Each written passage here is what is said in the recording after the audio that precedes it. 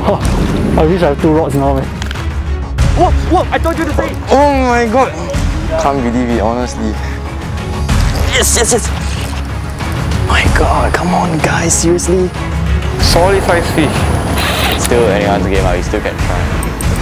Oh, there, there. I was expecting him to come with his A game.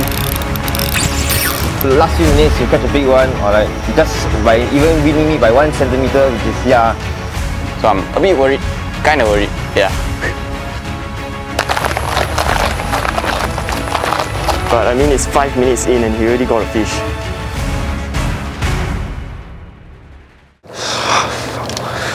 Oh my god.